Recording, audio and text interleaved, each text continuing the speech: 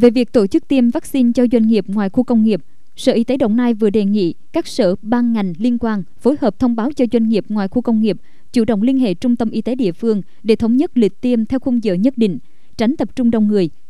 Người đến tiêm phải tuân thủ đầy đủ các biện pháp bảo hộ cá nhân như đeo khẩu trang, rửa tay sát khuẩn, đo thân nhiệt. Đối tượng tiêm chủng không nằm trong diện nghi ngờ nhiễm hoặc có tiền sử tiếp xúc với ca bệnh trong vòng 14 ngày. Những người đang bệnh hoặc có biểu hiện viêm đường hô hấp thì chủ động tư vấn không tiêm. Sở Y tế sẽ bố trí các đội tiêm chủng lưu động phù hợp với số lượng mà các doanh nghiệp đăng ký. Doanh nghiệp có trách nhiệm bố trí điểm tiêm chủng đảm bảo quy trình một chiều, khu vực cấp cứu, khu vực chờ sau tiêm, xe vận chuyển trường hợp có phản ứng và đảm bảo an ninh trật tự tại điểm tiêm.